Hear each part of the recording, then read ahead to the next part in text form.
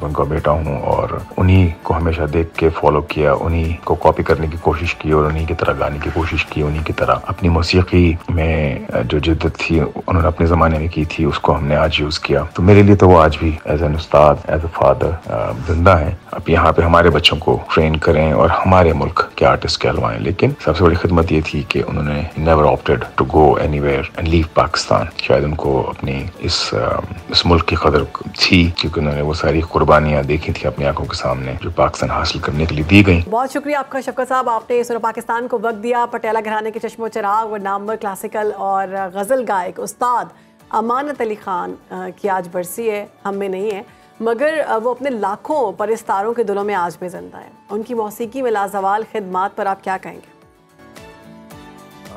बिल्कुल जी दुनियावी तौर पर तो हमारे साथ नहीं है लेकिन आ, मैं चूँकि उनका बेटा हूँ और उन्हीं को हमेशा देख के फॉलो किया, उन्हीं को कॉपी करने की कोशिश की और उन्हीं की तरह गाने की कोशिश की, उन्हीं की तरह अपनी मौसीकी में जो जिद्दत थी, उन्होंने अपने ज़माने में की थी, उसको हमने आज यूज़ किया।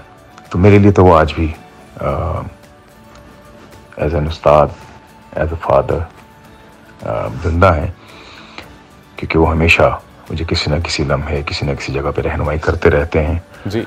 क्या बात जो कुछ उन्होंने आज तक किया हुआ है उसके ज़रिए। जो कुछ मैंने सुना है उसके ज़रिए। सो बाकी मौसीकी में उनकी बहुत सारी अख्तराहें हैं जिनको आप खदमात कह सकते हैं। आ, उन्हें बहुत सारे दूसरे ममालिक से थी। ऑफर्स कि आप हमारे मुल्क में आइए रहिए। हम आपको यहाँ पे सिटीजनशिप सिटीजनशिप देते हैं और आप यहाँ पे हमारे बच्चों को ट्रेन करें और हमारे मुल्क के आर्टिस्ट कहलवाएँ। लेकिन सबसे बड़ी खिदमत ये थी कि उन्होंने never opted to go anywhere and leave Pakistan शायद उनको अपनी इस इस मुल्क की कदर थी क्योंकि उन्होंने वो सारी कुर्बानियाँ देखी थी अपनी आँखों के सामने जो पाकिस्तान हासिल करने के लिए दी गई। तो एक बहुत बड़ी खदमत है और बहुत बड़ा आ, बड़े बहुत बड़े हौसले की बात है। किसी भी इंसान के लिए चाहे वो आर्टिस्ट हो या ना हो। बिल्कुल। शफकत साहब ये भी बताइएगा कि उस्ताद अमानत अली आम ज़िंदगी में कैसे थे? आम लोगों के साथ उनका बर्ताव कैसा था? आज उनकी कुछ यादें आप जो हमारे साथ हमारे नाजरीन के साथ शेयर करना चाहें। आ, मेरे जी इतना ज़्यादा मैं चूँकि बहुत छोटा था तो मैंने उनको हमेशा बहुत शफीक बाप की सूरत में देखा।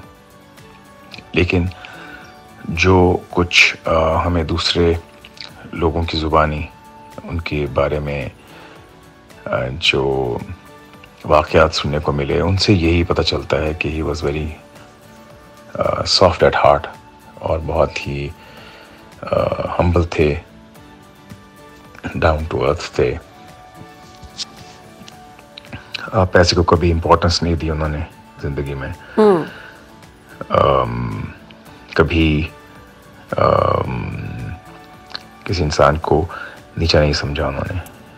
ये वो वाक़ात हैं जो जो भी उनके जानने वाले उनसे मिले जो लोग मिलते रहे उनसे और उन्होंने मुझ तक ये बातें पहुँचाई। जब भी हम मिले और उन्होंने सबसे पहले यही कहा कि तुम्हारे वालिद गुलकार तो बहुत अच्छे थे ही थे। इंसान भी अच्छे लेकिन इंसान बहुत अच्छे थे। जी। सिंगर तो वो थे ही थे आला। तो आई थिंक वही चीज़ें आगे हमारे पास पहुँच रही हैं। शौकत अमान अली साहब हम सब आपके फ़ैन हैं आपके वालद साहब के फ़ैन हैं। तो आज के दिन की मुनासबत के हवाले से अपने और अपने वालद साहब के फ़ैन्स को आप क्या पैगाम देना चाहेंगे? देखिए जी आ, आज के दिन से आ, मैं पैगाम तो खैर क्या दूँ लेकिन आ, जिस ज़माने में वो वो गाया करते थे उस्ताद अमानत अली ख़ान साहब उस्ताद फ़त अली ख़ान साहब मरहूम और उस्ताद सलामत अली ख़ान साहब उस्ताद नज़ाकत अली ख़ान साहब रोशनारा बेगम जी मलका मौसीक के रोशनारा बेगम जी।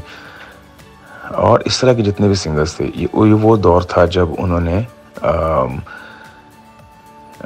इंटरनेट मीडिया जो इंटरनेट के ज़रिए आज आप यहाँ पे कुछ चीज़ करते हैं वो वायरल हो जाती है। जी। जी। उन्होंने उस मीडियम के बगैर क्या बात? दुनिया भर में अपना लोहा मनवाया। बेशक। और आई थिंक ये बहुत ही एक सॉलिड रीज़न है कि आप मेहनत करें। आप इंटरनेट मीडिया की वजह से वायरल तो हो जाते हैं लेकिन मैं बहुत सारे ऐसे वायरल मीम्स देखे हैं कि जो उस मीम का हिस्सा हैं वो अगर हमें कहीं आम ज़िंदगी में नज़र आ जाए तो हम उनको पहचान भी नहीं पाते। जी। लेकिन ये नाम ऐसे हैं कि जो उस वक्त से जिन्होंने काम किया, उसकी वजह से आज तक ज़िंदा है। सो मेहनत कीजिए और ऑनेस्टी के साथ कीजिए। शुक्रिया। बहुत शुक्रिया, शफकत अमानत अली साहब। आपने सुनो पाकिस्तान को वक्त दिया और अपने वालद की यादें आज ताज़ा की।